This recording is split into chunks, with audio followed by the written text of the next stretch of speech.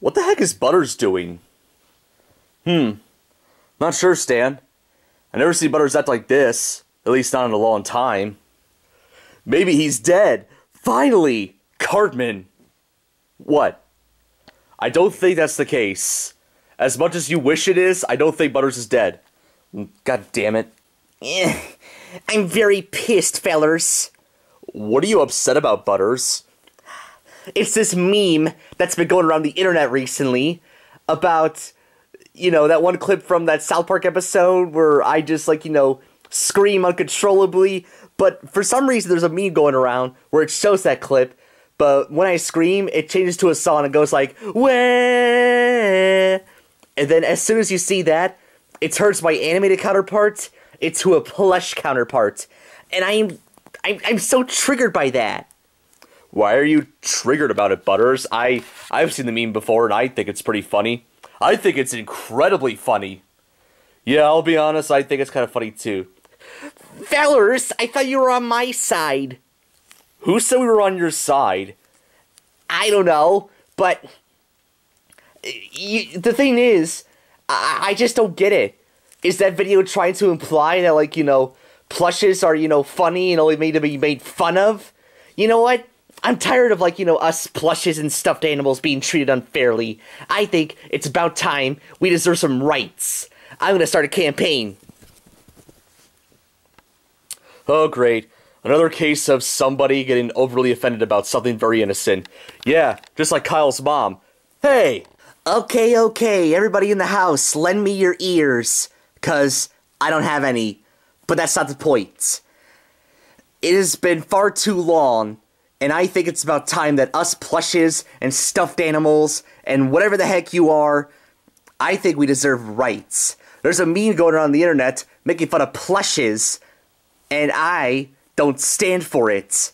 So I say we should revolt, and so plushes and stuffed animals can get rights. Who's with me? Seriously? Nobody wants to support my cause? Uh, what the? oh, Kenny. Oh, thank goodness you showed up. I knew you'd come support me. Wait, you're questioning why I'm doing this? you think it's a load of bullcrap? Come on, Kenny. Don't you want to have rights just like, you know, an ordinary person?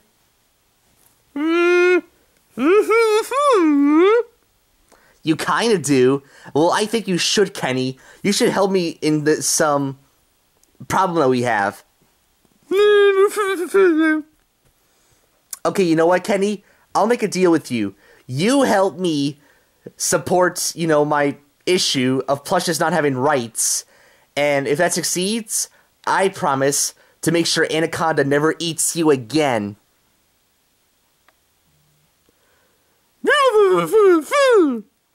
Well, glad to know that we can finally make terms. Alright, Kenny, let's start campaigning. Lots and lots and lots and lots and lots and lots and lots and lots and lots of campaigning later. Alright, Mr. Leopold Stotch. You can just call me Butters. Uh, what kind of a name is that? I don't know. Alright, um, Mr. Stotch, Mr. McCormick, I am pleased to tell you that your campaign on giving plushes and stuffed animals rights is a success. Oh, joy!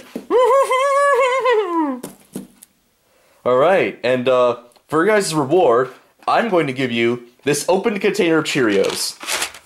Enjoy your rights. An open container of Cheerios? This is the thanks we get for giving plushes and stuffed animals rights? Is something that's already been eaten by somebody else? What?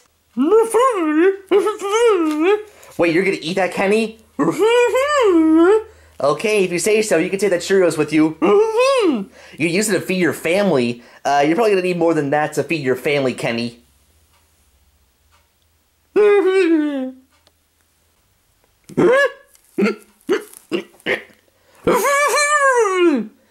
Oh, that's right, I forgot. I promised you to, like, make sure that you don't get eaten by Anaconda again. Okay, well, I got one way to make sure your anaconda invincible. Wait, what? That didn't make any sense, but you know what I mean.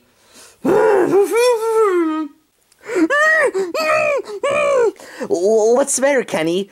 Rubbing, you know, a pillow against somebody is the perfect, you know, immunity to anacondas. What? You never heard about that before? Well, I just found out about it. Found out about it today.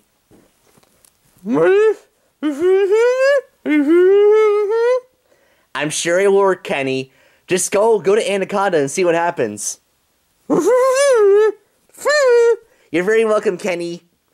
Ah, what a great day.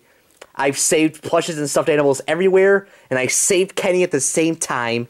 Ah, what a good boy I am. Am I the one that finds it kind of weird how we're in the same position as we were a couple days ago? Yeah, a little bit, Stan. Anyway, did you guys hear the news? What news? About uh, Kenny dying from Anaconda once again? Yeah, I sure did. Yeah, it would probably start to be whoever was responsible for it. They're probably feeling really guilty right now. Yeah, I honestly hope that they go to jail. Whoever was responsible for, you know, intentionally having Kenny get eaten by the anaconda. What's wrong with Butters? Uh, he's probably still concerned about that whole plush campaign that he's doing. Didn't that already succeed? Oh, I forgot about that. What else could be worried about?